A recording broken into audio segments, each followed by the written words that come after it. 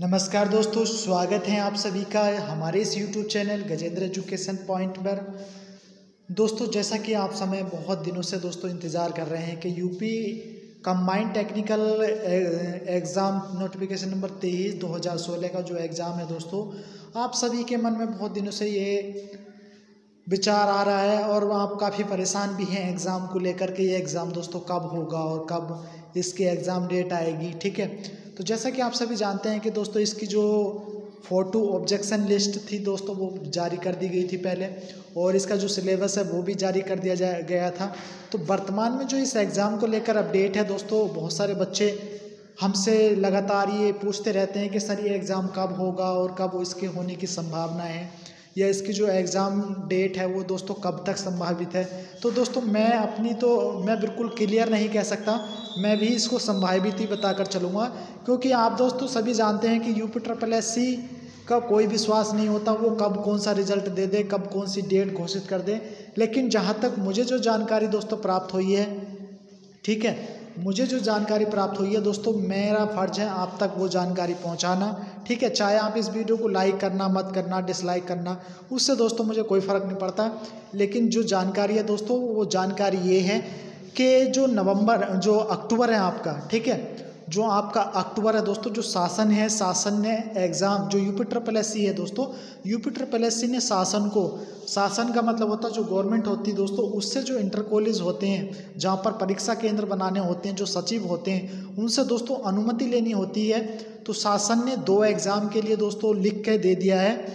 शासन को UP triple S सी ने मतलब शासन को भेज दिया है कि ये जो हम, ये एक तो कौन कौन से भी दो एग्ज़ाम है। पहला एग्ज़ाम है नोटिफिकेशन नंबर तेईस, दो हज़ार सोलह और दूसरा एग्ज़ाम है ए ए एस ओ ठीक है? असिस्टेंट स्टैटिक स्टैटिकल ऑफिसर का जो एग्ज़ाम, ये दो एग्ज़ाम दोस्तों दोनों मतलब दोनों एग्ज़ाम दोस्तों एक ही साथ होंगे। एक ही साथ का मतलब ये है दोस्तों कि पहले एक हफ़्ते में ये वाला एग्ज़ाम हो जाएगा, दूसरे हफ़्ते में दोस्तों वो दूसरा वाला एग्ज़ाम हो जाएगा। क्योंकि दोस्तों आप सभी जानते हैं इन दोनों जो फॉर्म भरे गए हैं, इसमें सबसे कम बच्चे हैं, ठीक है?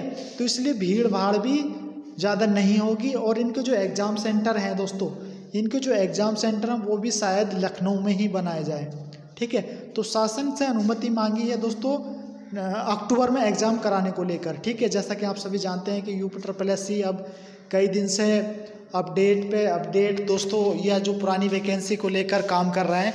और आप सभी जानते हैं कि इसके जो परीक्षा नियंत्रक हैं, ठीक है? विपिन मिश्रा, वो भी चेंज हो गए हैं। वैभव मिश्रा, दोस्तों, जो नए तेज तर्रार ऑफिसर माने जाते हैं तो वो अब परीक्षा नियंत्रक बना दिए गए हैं। और जैसा कि दोस्तों, सुप्रीम कोर्ट का ऑर्डर है कि अब कोरोना वायरस की वजह से कोई भी परीक्षाओं को दोस्तों, ज़्यादा समय तक नहीं टाला जा सकता है। तो उसी के संदर्भ में दोस्तों यूपी ट्रिपल एस बहुत दिनों से सोया हुआ था, आप सभी जानते हैं। ठीक है तो उसी के संदर्भ में यूपी ट्रिपल एस भी दोस्तों, अब अपनी परीक्षा दोस्तों आयोजित कराने के मूड में है।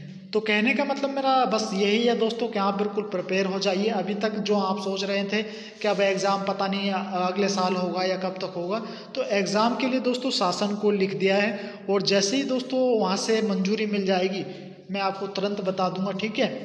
मैं आपको तुरंत बता दूँगा कि किस डेट को एग्ज़ाम रखा जा रहा है। लेकिन अभी तक जो अपडेट है दोस्तों, वो अक्टूबर में एग्ज़ाम कराने को लेकर शासन को यूपी ट्रिपल एस के द्वारा लिखा गया है। तो आप ये मान के चलिए कि अगर शासन इसको मंजूरी देता, दे देता है और मंजूरी मिल भी जाएगी दोस्तों, क्योंकि यूपी में दो एग्ज़ाम आप जो बड़ी परीक्षाएँ थी दोस्तों चाहे यूपी बीएड के एग्ज़ाम को लेकर हो या बी के एग्ज़ाम को लेकर हो दोस्तों, जिसमें काफ़ी लाखों में स्टूडेंट थे तो जब उनको मंजूरी मिल सकती है तो आपके तो बहुत छोटे एग्ज़ाम हैं, ठीक है? मात्र पचास हज़ार पचास हज़ार फॉर्म वाले एग्ज़ाम इसको आराम से दोस्तों मंजूरी मिल सकती है। तो मेरा लास्ट में बस आपसे अंतिम यही कहना है कि दोस्तों, अब आप अभी तक अगर नहीं पढ़ रहे हैं, ठीक है तो आप पढ़ना स्टार्ट कीजिए। और मैं दोस्तों आपके लिए बार बार ये सब चीज़ें क्यों कह रहा हूँ, ठीक है, इस वीडियो को पूरा देखने या ना देखने से मेरा कोई फ़ायदा नहीं होगा, क्योंकि मेरा चैनल कोई मोनेटाइज नहीं है, मुझे कोई पैसा नहीं मिलता, या ठीक है, आप अगर कभी ये सोचते हो कि ये बार बार परेशान करने आ जाता या ये चीज़ तो हमें, ये चीज़